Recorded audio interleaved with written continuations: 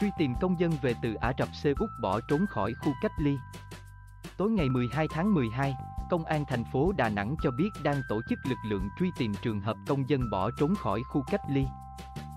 Trước đó, khoảng 15 giờ 40 phút ngày 11 tháng 12, trường quân sự quân khu 5, đóng tại phường Hòa Thọ Tây, quận Cẩm Lệ, tiếp nhận 51 công dân từ Ả Rập Xê Út nhập cảnh Đà Nẵng trên chuyến bay Việt Nam 5088. Đến 16 giờ 10 phút cùng ngày, lợi dụng lúc đi vệ sinh, bà Chamalea Thị Thập, sinh năm 1983, quê xã Phước Chính, huyện Bắc Ái, tỉnh Ninh Thuận, trốn khỏi nơi cách ly. Ngay sau khi phát hiện sự việc, Bộ Chỉ huy quân sự thành phố đã có công văn gửi công an thành phố hỗ trợ truy tìm nữ công dân trên.